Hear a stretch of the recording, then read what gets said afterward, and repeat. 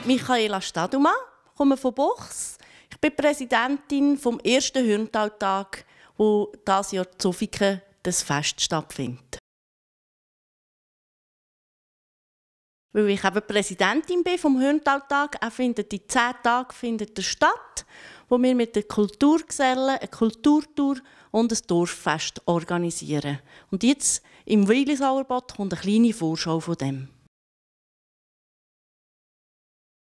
Im Mann würde ich die Anton Kronenberg Stiftung zu Dammersau empfehlen, weil dort habe ich als Einheimische auch noch etwas dazu lernen und er als Auswärtige weiss noch gar nichts davon. In den Kind würde ich Schützenhäuschen zu Buchs empfehlen, wo die NAVO und der OV ist, wo ganz viele Aktivitäten für größere und kleinere Kinder sind.